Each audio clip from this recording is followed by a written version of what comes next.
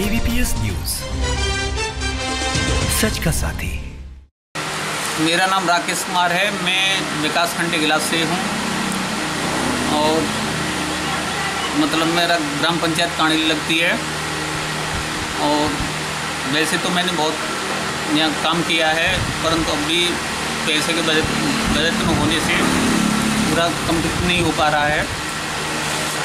और जिसमें कम से कम जो मैंने भाई साहब ने लिखवा दिए इतनी बार कमावेशी हैं यहाँ पर। और जैसे प्राइमरी स्कूल होना चाहिए, गाँव में स्कूल मतलब बहुत दूर जाना पड़ता है। और मतलब जैसे पानी की निकासी नहीं है, पानी नहीं निकल पाता है यहाँ बरोई डैम तो गलियों में।